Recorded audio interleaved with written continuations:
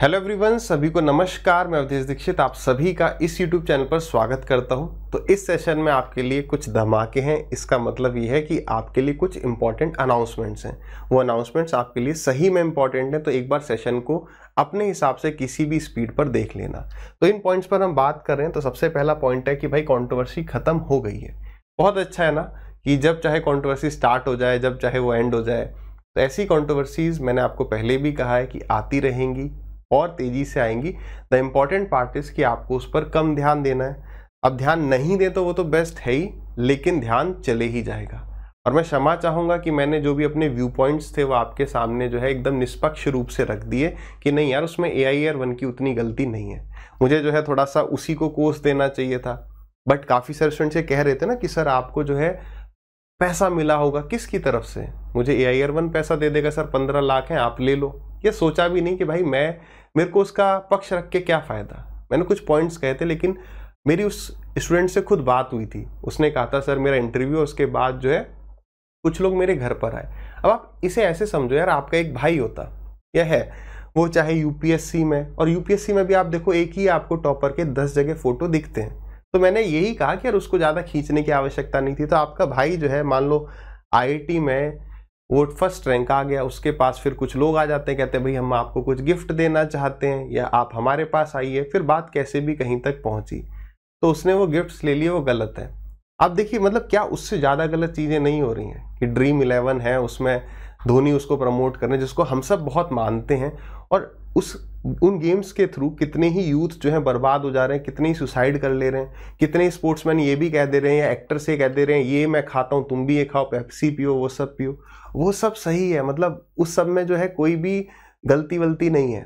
तो बस यही है उस बात को समझना है कि आ, पता ईमानदार वही है जिसे बेईमान बनने का मौका नहीं मिला।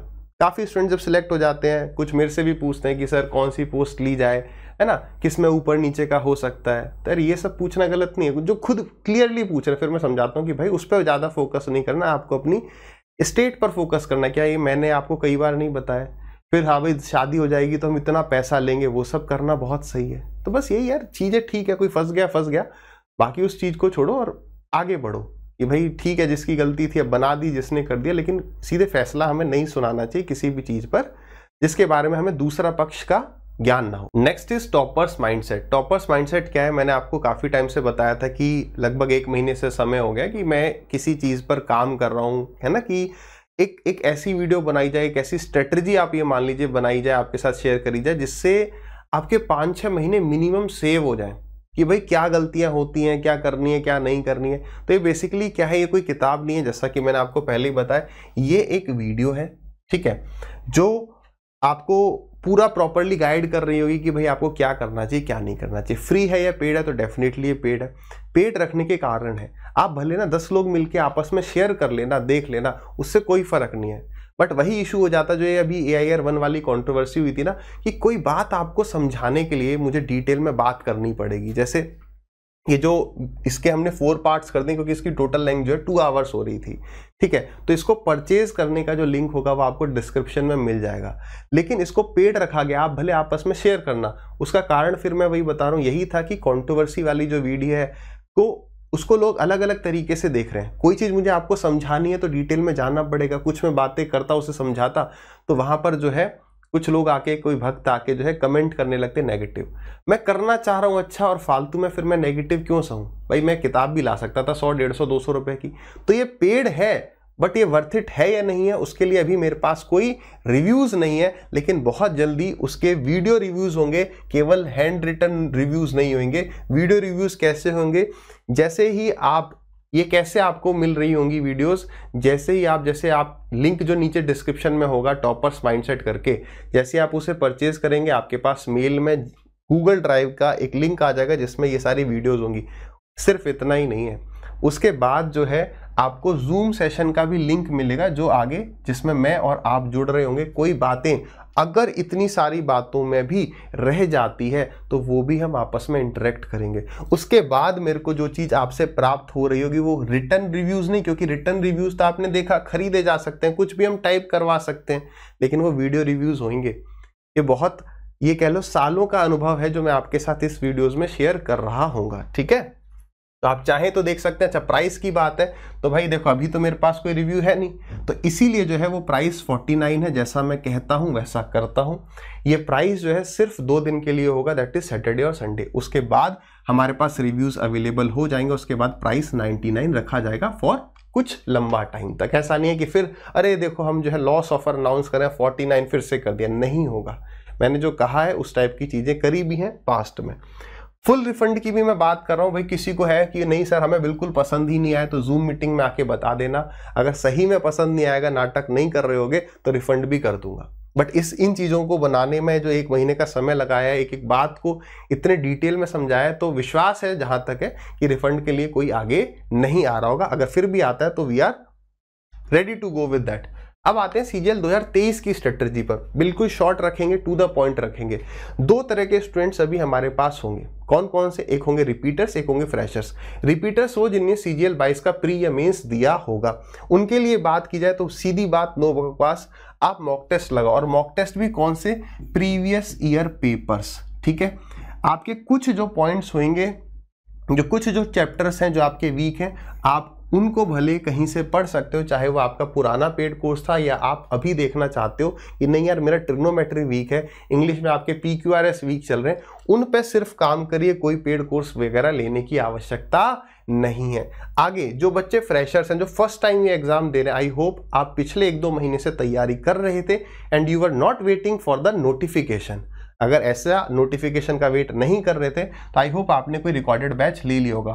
फोकस करिए रिकॉर्डेड बैच पे। क्यों? क्योंकि आप उसे अपनी स्पीड के हिसाब से देख सकते हैं, जैसे आप इस वीडियो को देख पा रहे हैं। तो आप छः महीने के सिलेबस को तीन महीने में खत्म कर सकते हैं। और दूसरी बात, अभी लग रहा है हमें कि तीन महीने, फिर वही बात, तीन महीने को छः महीने आप बना सकते हो। अगर आप चार घंटे रोज पढ़ रहे हो तो उसकी जगह आठ घंटे पढ़ने लग जाओ। वो केवल एक विजन का ही फ़र्क है। ठीक है? किसी के लिए वो तीन महीने, किसी के लिए वो छः महीने भी हो सकते हैं अगर आप अपने टाइम को डबल कर दें। लाइव क्लासेस वाला अगर कोई बैच ले लिया है तो it's okay but the important part is कि सेल्फ एफर्ट्स अभी भी मारने बहुत इंपॉर्टेंट है कि केवल उस रूटीन को फॉलो नहीं करना जो उस लाइव क्लास में हो रहा है, भले आप उसे बाद में रिकॉर्डेड देख लो, लेकिन अपने हिसाब से सोचो कि यार कौन से चैप्टर्स मुझे पहले कवर करने हैं जिनका वेटेज ज़्यादा है। मैंने आपको पहले भी बताया ब्लूप्रिंट बनाया करिए, वो आपको यहाँ पर हेल्प कर रहा होगा। थर्ड पॉइंट इज़ कि टाइम वेस्टेज जितना कम कर सकें, उसको जितना ज़ीरो के पास लें उतना अच्छा है यूट्यूब पे फेसबुक पे इंस्टाग्राम पे। यहाँ वहाँ फालतू जितना भी टाइम वेस्ट हो रहा है, उसको ज़ीरो कर देंगे। या ज़ीरो के करीब ले आएँगे तो उस टाइम को आप यूटिलाइज कर पाएँगे पढ़ाई में। ये समय फिर नहीं आने वाला। बहुत जल्दी जो है सीजल बाईस के बाद तेईस वाला अटेम्प्ट आ गया ऐसा पता नहीं चौबीस अब कब आएगा, नहीं आएगा, जो भी है, वो फ्यूचर है। तो जो प्रेजेंट है, उसको पकड़िए और लेस फोकस करिए जीके पर। अब कहीं कहेंगे, सर मेंस में भी जीके तो आप कम फोकस करने को क्यों कह रहे हो? इसका पहला पॉइंट है कि प्री जो है क्वालिफाइंग है। सेकंड पॉइंट यह है कि यार जीके की ना कोई स्टार्टिंग और एंड पॉइंट नहीं है। ये एंडलेस है। थर्ड पॉइंट ये है कि यार अगर आपको जीके पे फोकस करना है तो कम टाइम में ज़्यादा करें। कैसे करें भाई? तो आप इसके लिए जो है, अगर करंट अफेयर्स की बात करें तो वीकली या मंथली देखिए। डेली देखने की आवश्यकता नहीं है।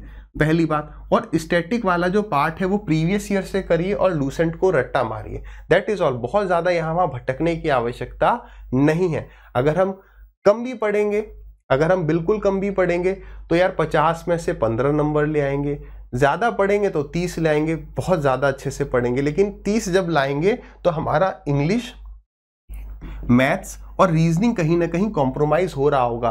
टारगेट ये क्यों ना बना लिया जाए कि इन तीनों में डेढ़ सौ में से कम से कम 130 ले आया जाए।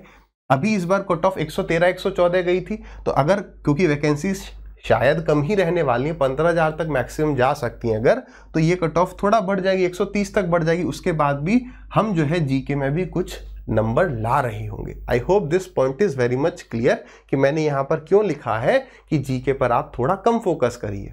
क्योंकि ये एंडलेस चीज़ है। लास्ट आपके लिए, कईयों के लिए बहुत इंपॉर्टेंट है दैट इज़ कि जो भी हमारा कोर्स ऐप पर फ्री ऑफ़ कॉस्ट अवेलेबल था सॉरी जो भी कोर्स हमारा ऐप पर अवेलेबल था, अब उसे फ्री ऑफ़ कॉस्ट हम यूट्यूब पर अवेलेबल करवा रहे होंगे। अभी भी वो उतना ही वर्थ इट है, ठीक है? क्योंकि आप अगर मेंस का भी अभी का पेपर उठा के देख लोगे तो एक सवाल आपको ऐसा नहीं मिलने वाला जो उसमें से ना हो। तो फ्री में हम क्यों अवेलेबल करा रहे हैं? उसकी फटाक से कुछ रीजंस देख लेते हैं। जो अपनी ऐप थी, जो स्टूडेंट यूज़ कर रहे थे, उन्हें पता हो कि काफ़ी सारे सर्वर इशू आ रहे थे। लाइव क्लास का फीचर उस पर नहीं हो पा रहा था। मैं अकेला ही उसको मैनेज कर रहा था तो मेरे को मैनेज करने में समस्या आ रही थी। डेवलपर से बहुत बात कर ली, लेकिन बात नहीं बन पा रही थी, ठीक है? उसके बाद जूम जैसा मैं एक इंटरफेस चाह रहा था कि हम आपस में बातचीत कर पाए, वो भी नहीं हो पाया। और not able to update the course मैं कोर्स को अपडेट नहीं कर पा रहा था, क्योंकि मैं कहीं और भी पढ़ा रहा था, यहाँ भी पढ़ा रहा था। तो कोर्स अपडेट नहीं हो रहा था। अपडेट का मतलब ऐसा कुछ नहीं है कि कोई फॉर्मूला बदल जाएगा but the only thing was कि कुछ चीज़ें जो है पहले व्हाइट बोर्ड पर शूट हुई थी, उनको डिजिटल बोर्ड पर शूट करना था और कुछ लेटेस्ट सवाल डालने थे। कंसेप्ट मैं अभी भी कह रहा हूँ, उसमें सारे के सारे हैं, जो भी अभी रिसेंट एग्ज़ाम्स में पूछे जा रहे थे। और उसके बाद लास्ट पॉइंट कि सर उन बच्चों का क्या, जिनने लास्ट एक दो हफ़्ते में खासकर जो एडमिशन्स हुए थे, वो अभी नोटिफिकेशन के आने के बाद हुए थे। तो वो जो भी डेढ़ सौ से दो सौ एडमिशन्स हुए हैं, वो सारे ही रिफंड कर दिए जाएँगे। चार से पाँच वर्किंग डेज़ का समय मेरे को दे देना, आपको ये रिफंड मिल जाएगा और बताइए। ठीक है? पूरा रिफंड मिल जाएगा और कुछ नहीं। को नो क्वेश्चन आस्ट वाली बात कि भाई, जो भी है, अगर मैंने यहाँ पे उसे फ्री ऑफ़ कॉस्ट कर रहा हूँ तो वो रिफंड आपको मिलना चाहिए। ये सारे अभी YouTube पर आने में भी थोड़ा सा टाइम लगेगा। एक बार जैसे ही अपलोड हो जाता है, मैं आपको जो है इसके बारे में भी एक अपडेट दे दूँगा। आई होप आपके लिए कुछ यहाँ पर धमाके यूजफुल रहे होंगे।